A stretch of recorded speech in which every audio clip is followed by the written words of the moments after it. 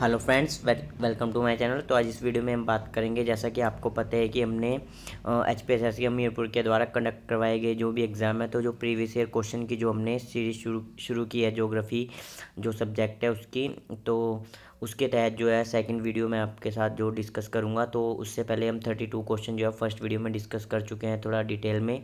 तो इसमें जो हम ट्वेंटी क्वेश्चन डिस्कस करने वाले हैं तो बाकी अगर आपको लगता है कि मैं थोड़ा डिटेल में ना बता के वीडियो को जल्दी ख़त्म करूँ, क्योंकि जो फ़र्स्ट वाला वीडियो था वो थोड़ा लंबा हो गया था तो आप कमेंट कर सकते हो। तो बाकी अगर इसी तरह आपको सही लगता है तो आप उसके लिए भी कमेंट कर सकते हैं। तो चलिए शुरू करते हैं। जैसे कि फ़र्स्ट क्वेश्चन है कि विश्व का उच्चतम हाइडल पावर रोंगटोंग स्थित है। तो ये जो जो जोग्राफी में क्वेश्चन पूछा गया था, लेकिन जो हिमाचल प्रदेश में स्थित है तो ऑप्शन सी यहाँ पे राइट आंसर होगा। तो बात करते हैं कि हिमाचल प्रदेश में जो रोंग रोंग रोंगटोंग जो है पावर प्रोजेक्ट कहाँ स्थित है, कौन सी डिस्ट्रिक्ट में? तो ये जो रोंगटोंग है, ये स्थित है लाहौल स्पीति में। तो लाहौल स्पीति में स्थित है तो यहाँ से आपने एक चीज़ और याद रखनी है कि जो लाहौल स्पीति में जो है, वो जो स्पीति नदी है, लाहौल एंड स्पीति के नाम से जो स्पीति ही नदी है तो उस पर जो है रोंगटोंग जो हाइडल पावर प्रोजेक्ट है स्थित है तो दो मेगावाट का ये है तो ये मतलब पूरे विश्व में जो है सबसे ज़्यादा ऊंचाई पर स्थित ये। हाइडल पावर प्रोजेक्ट है रोंगटोंग। बाकी जो एक और है हिमाचल, जो हिमाचल जीके में क्वेश्चन पूछा जाता है तो रोंगटोंग तो हिमाचल जीके में भी पूछा जाता है, लेकिन जो यहाँ पे जो क्वेश्चन है ज्योग्राफी में पूछा गया है तो एक जो इसी से मिलता जुलता मतलब जो हाइडल पावर प्रोजेक्ट है, जो कि है शोंगटोंग। तो जो शोंगटोंग है, वो किन्नौर में पड़ता है। बाकी जो ये रोंगटोंग है तो शोंगटोंग जो है, वो किन्नौर में पड़ता है। बाकी जो ये रोंगटोंग है तो ये लोलैंड स्पीति में पड़ता है। ठीक है? तो उसके बाद यहाँ पे जो इसका राइट आंसर ऑप्शन सी है तो उसके बाद जो नेक्स्ट डिस्कस करते हैं क्वेश्चन कि कौन सा एक परंपरागत ऊर्जा स्रोत है? तो जो परंपरागत ऊर्जा स्रोत है, वो एक वो आप ऑप्शन देख के लगा सकते हो कि ज्वारीय ऊर्जा भूतापीय ऊर्जा, सौर ऊर्जा जो है तीनों की जो एक गैर परंपरागत ऊर्जा स्रोत है। आपने छोटी क्लासेस में पढ़े होंगे कि परंपरागत ऊर्जा स्रोत और गैर परंपरागत ऊर्जा स्रोत क्या होते हैं? तो बाकी अगर नहीं भी आपको नॉलेज तो ज्वारीय ऊर्जा भूतापीय ऊर्जा सौर ऊर्जा, आपको पता है तो तीनों जो हैं, वो एक मतलब एक दूसरे से मिलते जुलते बाकी जो बायोमास एनर्जी है, ये जो है गैर परंपरागत ऊर्जा स्रोत है परंपरागत ऊर्जा स्रोत है तो ऑप्शन डी यहाँ पे राइट आंसर होगा। बाकी बता दूँ मैं आपको कि जो बायोमास एनर्जी है, जैव संयुक्त ऊर्जा क्या होती है तो ये जो होता है कि जो मतलब जीव है, जो मर गए होते हैं कि मतलब हाल ही में जो मतलब जीवों से जो मतलब हमें पदार्थ मिलते हैं मतलब जीवों से मतलब पेड़ पौधों से हैं कि मतलब जो तो उनसे जो हमें पदार्थ मिलते हैं तो उन्हें हम जैव संहिता, जैव संहिती ऊर्जा या फिर बायोमास एनर्जी बोलते हैं कि जैसे उदाहरण के लिए आप ले लो कि गन्ने की खोई आपने सुना होगा तो वो भी एक जैव सहित ऊर्जा मतलब बायोमास एनर्जी का उदाहरण है। अगर मतलब धान का जो भूसा होता है उसे ले लो तो ये भी एक इसी का उदाहरण है। तो जो परंपरागत एनर्जी स्रोत है ये ऑप्शन डी यहाँ पे राइट आंसर होगा। तो एक बार और बता दूँ कि जो जीवित मतलब जीवों अथवा हाल ही में जो मतलब जो मर गए होते हैं तो उनसे जो मतलब प्राप्त जो पदार्थ होता है उन्हीं से उन्हीं से जो हम मतलब ईंधन के रूप में यूज़ करते हैं, उसी को जैव संहिता ऊर्जा बोलते हैं। मतलब जीवों से मतलब यहाँ इंसानों से नहीं है कि मतलब जीवों से मतलब यहाँ पेड़ पौधों से है। तो उसके बाद नेक्स्ट बात करते हैं कि निम्नलिखित में से कौन सा भारत में सबसे बड़ा कोयला क्षेत्र है? तो जो रानीगंज है जो कि पश्चिम बंगाल में जो जगह है रानीगंज तो ये जो है सबसे बड़ा कोयला क्षेत्र है।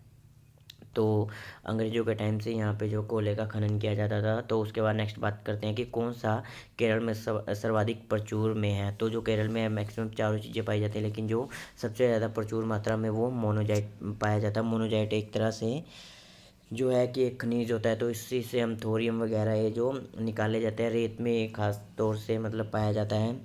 बाकी और मैं आपको बता दूँ कि मतलब काफ़ी ज़्यादा जो मोनाजाइट वो पाया जाता है, वो भारत में पाया जाता है। मेडागास्कर जो अपने हिंद महासागर का जो सबसे बड़ा द्वीप है तो वहाँ पे भी मोनाजाइट पाया जाता है।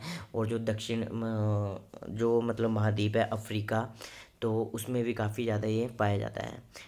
उसके बाद नेक्स्ट बात करते हैं कि यहाँ पे जो ऑप्शन डी सही है तो उसके बाद बात करते हैं। नेक्स्ट क्वेश्चन की कौन सा भौमिक ग्रह है? तो भौमिक ग्रह मैं आपको बता दूँ कि उन ग्रहों को कहते हैं कि सबसे पहले तो आप जान लीजिए कि आंतरिक ग्रह कौन से होते हैं। तो जो आंतरिक ग्रह ग्रह होते हैं, आपको पता है कि बुद्ध है जो, उसके बाद शुक्र है मतलब कर्मानुसार मैं आपको बता रहा हूँ। उसके बाद जो पृथ्वी है, उसके बाद मंगल है, ठीक है? तो ये जो चार ग्रह हैं इससे हम बोलते हैं कि आंतरिक ग्रह। और जो ये चारों आंतरिक ग्रह है, इनको ही भौमिक ग्रह बोला जाता है।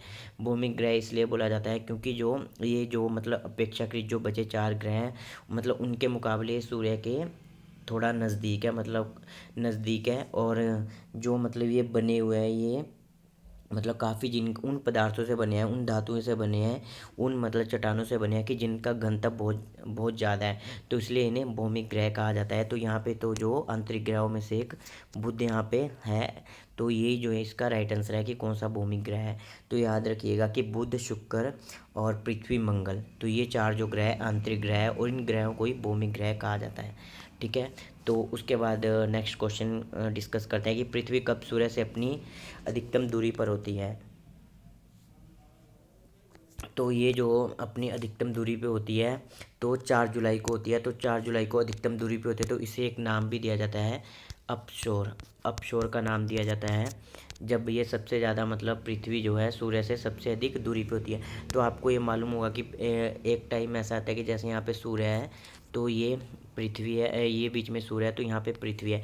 तो एक टाइम आता है कि पृथ्वी यहाँ होती है, क्योंकि जो पृथ्वी है वो सूर्य के चारों तरफ़ चक्कर लगाती है और एक टाइम ये होता है कि यहाँ पे पृथ्वी होती है। तो आपको बता दूँ कि जो पृथ्वी है वो जो सूर्य का मतलब परिक्रमण करती है, वो अंडाकार मतलब गोलाई में नहीं करती है, अंडाकार वृत्त में करती है मतलब अंडाकार क्षेत्र में करती है। तो एक टाइम होता है कि यहाँ पे जो पृथ्वी है, वो सूर्य के सबसे नज़दीक है। तो बाकी एक टाइम होता है कि जो पृथ्वी है, वो सूर्य के सबसे दूरी पे है। तो लेकिन जो सबसे ज़्यादा दूरी पे होती है, वो चार जुलाई को होती है। तो मान लो ये चार जुलाई है, जिसे कि अपशोर बोला जाता है और एक होता है कि उपसोर तो एक उपसोर का नाम दिया जाता है। तो उपसोर जो होता है, वो तीन जनवरी को होता है। तो तीन जनवरी को जो है, वो पृथ्वी है, वो सूर्य के सबसे अधिक नज़दीक होते हैं। तो यहाँ से दो ही क्वेश्चन पूछे जाते हैं। तीन जनवरी को उपसौर की पृथ्वी सबसे नज़दीक होती है और चार जुलाई को अपसौर की पृथ्वी और सूर्य के बीच जो दूरी है, वो अधिकतम होती है। ठीक है? बाकी ये नहीं पूछा जाएगा कि कितनी दूरी है इनके बीच। बाकी करोड़ में होती है काफ़ी करोड़ किलोमीटर में। उसके बाद नेक्स्ट डिस्कस करते हैं कि संस्तरण तल के साथ मैग्मा का अंतर्वेदन कहलाता है। तो जो मैं आपको बता दूँ कि जो संस्तरण तल के साथ मैग्मा का अंतर, अंतर्वेदन कहलाता है, वो बैथुलित कहलाता है। और उसके बाद अगर बात करें कि समतल तल के साथ मैग्मा का अंतर्वेदन कहलाता है तो समतल के साथ कहलाएगा लेकोलित बाकी यहाँ पे इन्होंने पूछा है संस्तरण तल के साथ।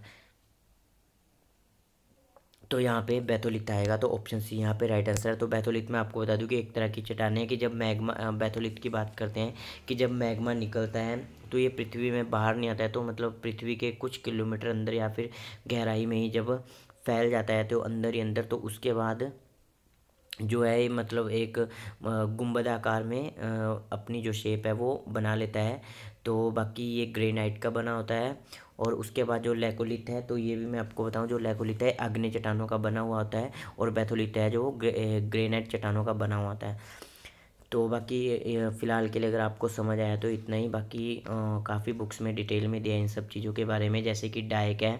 तो डाइक जो होता है कि जब दरारों में जो मैग्मा भर जाता है तो उसको डाइक बोला जाता है।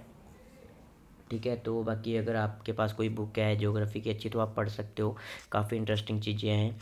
उसके बाद बात करते हैं कि सिस्मोग्राफी किसका अध्ययन है। तो जो सिस्मोग्राफी है, वो भूकंपों का अध्ययन है। तो ऑप्शन डी यहाँ पे राइट आंसर होगा। बाकी मैं आपको बता दूँ कि अगर आपको डिटेल में नहीं पढ़ना चाहते हो, आप सिर्फ़ खाली आपको आंसर से मतलब है तो आप वीडियो को टू एक्स पे करके स्पीड जो है वो देख सकते हो, ठीक है? उसके बाद बात करते हैं कि कौन सी जैव सेल है। तो जैव सेल जो है वो कोयला जो एक है जैव सेल है, ऑर्गेनिक सेल है। उसके बाद ग्रेनाइट की बात करते हैं तो ग्रेनाइट क्या है? तो ग्रेनाइट एक अग्नि चट्टान ये भी पूछा जाता है, ठीक है? बाकी उसके बाद जो है स्लेट की बात करते हैं तो स्लेट किस तरह की चट्टान है? तो स्लेट जो है वो एक केंद्रित चट्टान है, ये क्वेश्चन भी पूछा जाता है। तो ये क्वेश्चन मैं आपके लिए छोड़ देता हूँ कि जो संगमरमर है, वो किस प्रकार की चट्टान है, ठीक है? बाकी जैसे ग्रे नाइट चट्टान है तो इसको याद करने की ट्रिक है कि ग्रे ग्रे से हम ग्रे कलर ले सकते हैं। और जो आपको पता है कि जो ऐश होती है, वो राख होती है, वो ग्रे कलर की होती है तो जो कि अग्नि से ही बनी होती है। तो इस तरह आप कभी नहीं भूल, भूलोगे क्योंकि ट्रिक भी कभी ना कभी ऐसा नहीं है कि काम आती है, क्योंकि एक टाइम ऐसा आता है कि आप ट्रिक भूल जाते हो, लेकिन जो क्वेश्चन का आंसर है, वो आपको हमेशा याद रहेगा। तो हम ऐसा नहीं बोल के चल सकते हैं कि ट्रिक से कोई चीज़ पढ़ना गलत है, ठीक है? क्योंकि जो ऐसा मतलब बोला जाता है हमेशा कि अगर हम ट्रिक से पढ़ते हैं तो जो हमारा आईक्यू लेवल है, वो कम हो जाता है। ऐसा है, लेकिन कहीं ना कहीं मतलब काफ़ी चीज़ें हैं जो ट्रिक से याद रह जाती हैं, क्योंकि जो आपने देखा होगा कि जो यू पी एस भी होते हैं, वो भी मैक्सिमम जो है मतलब ट्रिक से भी काफ़ी ज़्यादा चीज़ें याद करते हैं।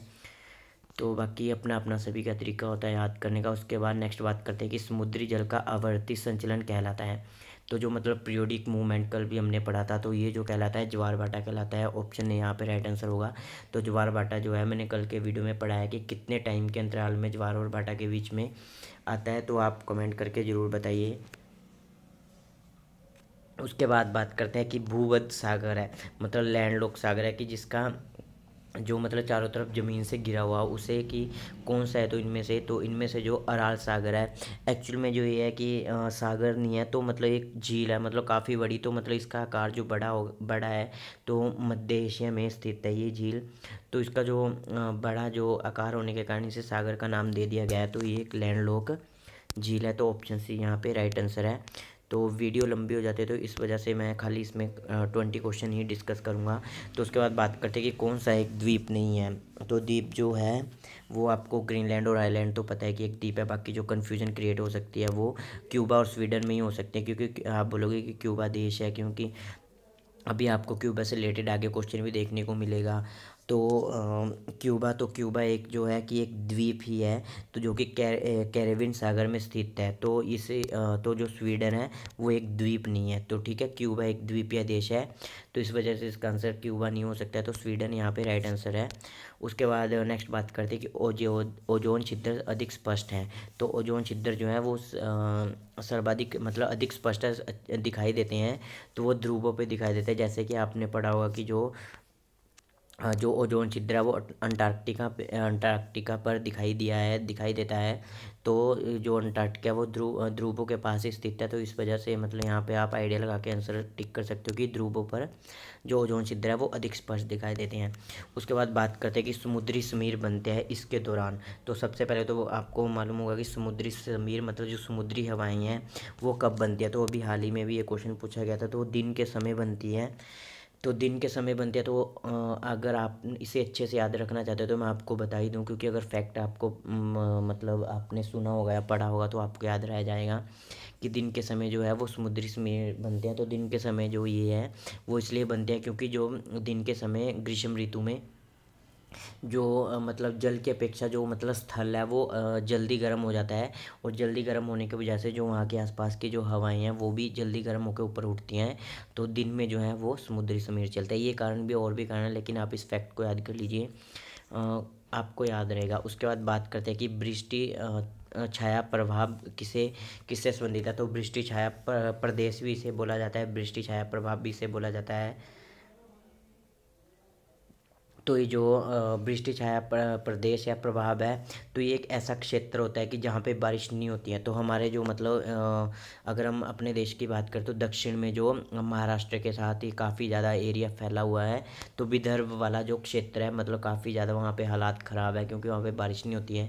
तो लेकिन अगर आपने मतलब पढ़ी होगी जोग्राफ़ी तो आपका मानना ये होगा कि जो दक्षिण पश्चिम मानसून है तो मतलब वो तो वहाँ पर बारिश करता है, लेकिन ऐसा नहीं है। क्योंकि जो है कि वो काफ़ी बार ऐसा होता है कि जो मतलब जो विदर्भ वाला क्षेत्र है तो वहाँ पे जो बारिश नहीं होती है, क्यों इसलिए नहीं होती है, क्योंकि जो पश्चिमी ढाल है तो मतलब जो पश्चिमी घाट है तो मतलब जो दक्षिणी पश्चिम मानसून या फिर जो हवाएँ जो मतलब अपने साथ बारिश लेके आती है तो वो सारी जो बारिश है वो अपनी ढलान के इस तरफ़ ही कर देती हैं। तो मतलब अपनी नमी जो सारी है वो ढलान के इस साइड ही छोड़ देती है। तो बाकी जो मतलब यहाँ पे क्योंकि आपको पता है कि जो पश्चिमी घाट है वो मतलब एक पहाड़ी एरिया ही है मतलब ढाल है तो दोनों तरफ़ से। तो यहाँ पे जो है मतलब विदर्भ वाला क्षेत्र आता है तो जो वो हवाएँ हैं तो यहाँ पे वो बारिश नहीं कर पाती हैं ढाल के मतलब दूसरी तरफ़।